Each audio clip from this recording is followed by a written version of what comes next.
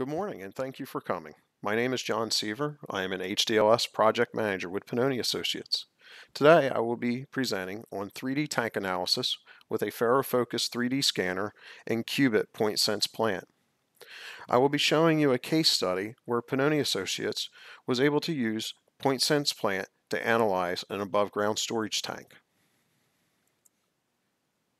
Before we get into talking about the case example, I'd like to give you a little bit of background on myself and Pennoni Associates. Pennoni is a multidiscipline engineering firm providing services in science, planning, and design consulting. We also provide design build services to private and government agencies around the world. All of our services are provided globally. We are an employee owned company. We have 1,200 employees spread out over 28 offices in the United States.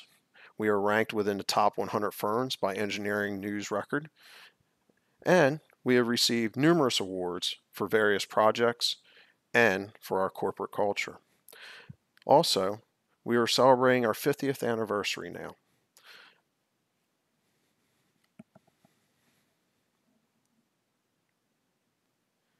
Now for a little bit of history about myself. Again, my name is Jon Sever. I am the HDLS project manager for Newark, Delaware. I also manage all of our HDLS services for our design build group. I have been with Pennoni for 10 years in the survey department. I have over 15 years of engineering and survey experience, and I've been using Autodesk products for all of the 15 years.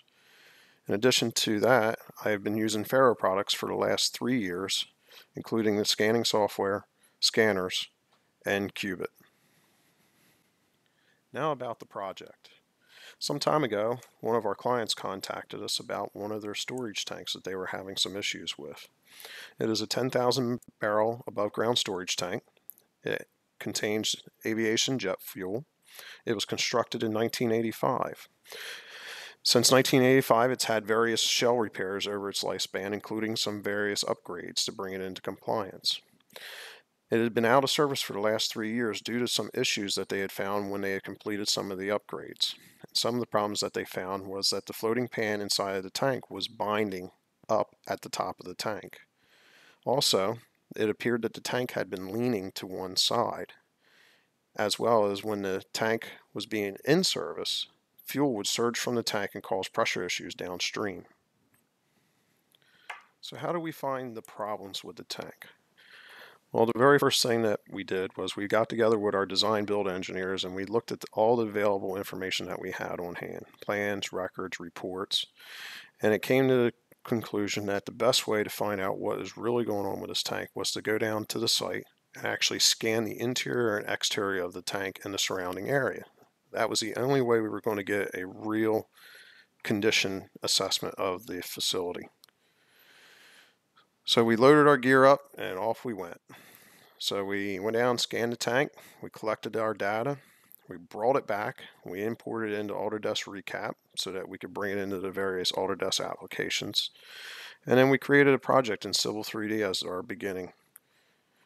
Once we created our Civil 3D project, we began to use Kubit to begin our analysis of the data. And then once we were complete our analysis of our data, we would bring in our point cloud into Trimble RealWorks, and we would use Trimble RealWorks to generate our documentation and reports, in addition to the Kubit plans that we were submitting.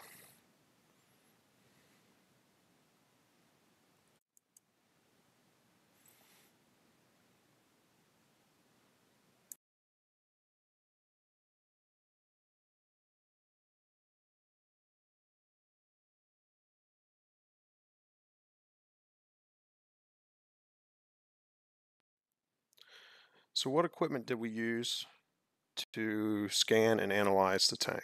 Well, we used our Faro S120 Focus 3D laser scanner. We also took with us two cases of ATI spheres and our paper targets. As part of our field package, we also carry with us a Lenovo W520 laptop that is completely outfitted with 32 gigs of RAM and dual solid state drives. On this project, we used Faro Scene 5.3 to register all of our clouds and we used Autodesk Recap for the use of bringing all of our point cloud data into the various Autodesk products. We used Autodesk Civil 3D to generate our plans and our heat maps, and we used Kubit PointSense to do our analysis on the point clouds. In addition to Kubit, we also use Trimble RealWorks as our report tool.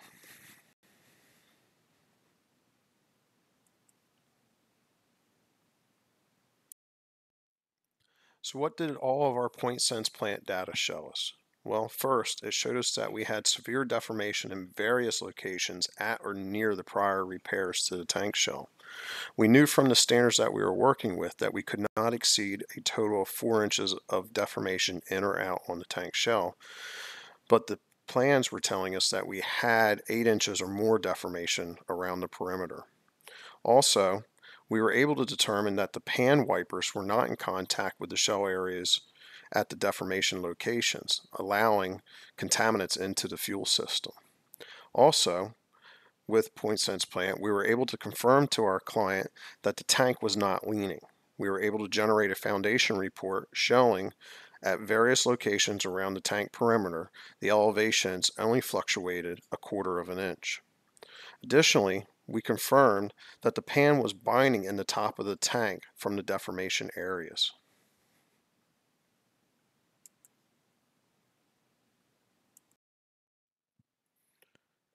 So why did we choose PointSense Plant? Well, simply put, it was for ease of use. We were already using PointSense Plant as our standard workflow for working with point clouds.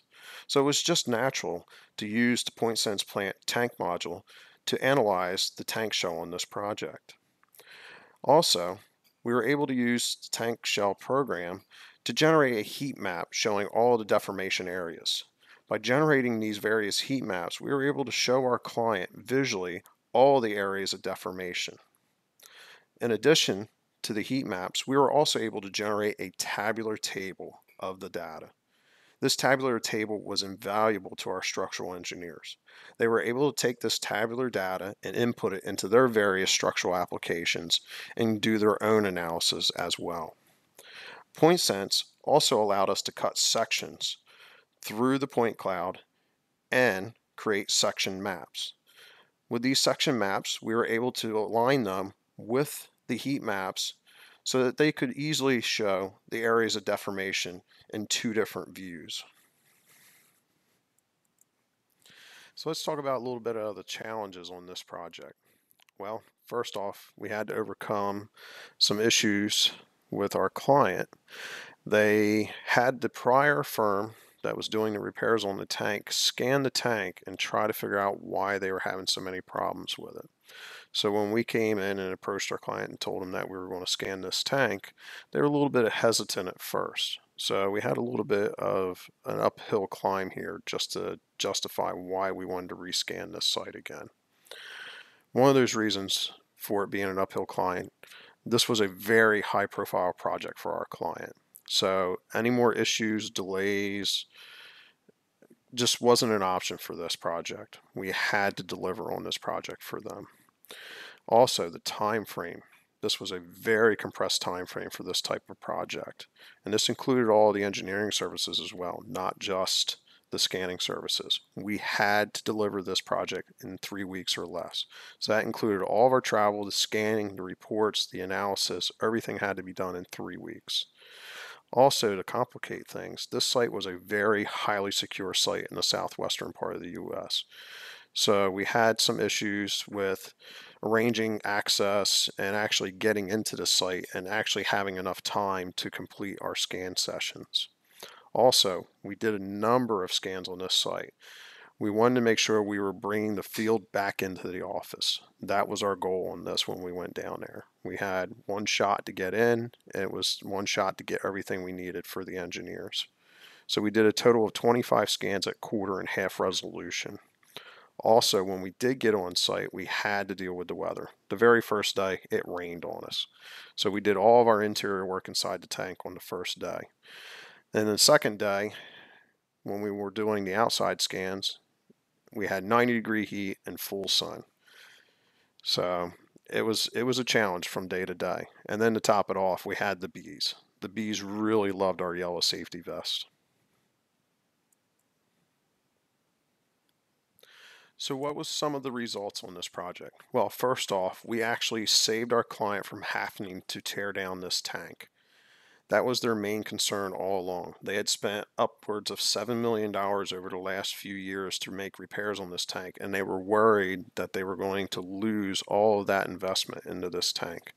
So we were actually able to show them using PointSense Plant that there was only certain areas that needed to be repaired. So we actually saved our client money. Also, by using PointSense Plant, we were able to scan, analyze the data, and create all of our reports in less than seven days.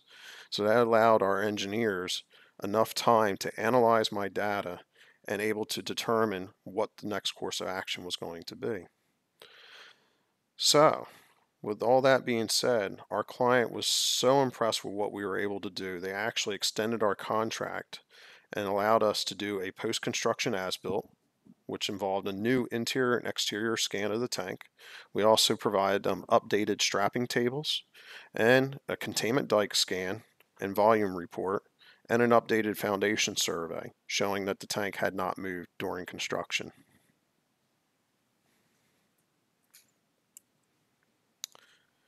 Well, with all projects, there's always room for improvement. And some of the areas that we saw we needed improvement was we needed to streamline our data extraction process. Kubit worked flawlessly, but working on these compressed timelines, we needed to have more staff trained in using the tank analysis software.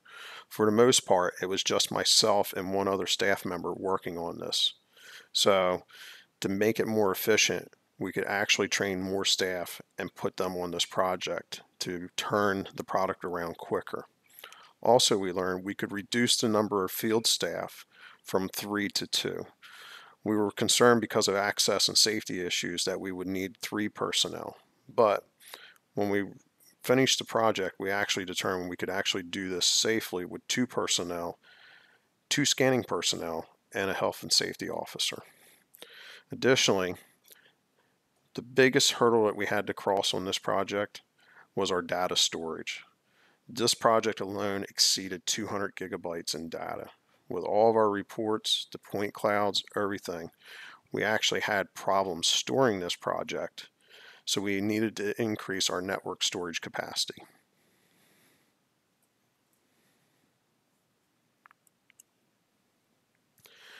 If you have any questions about this project or PointSense Plant and how we used it on this project and others, please feel free to contact me.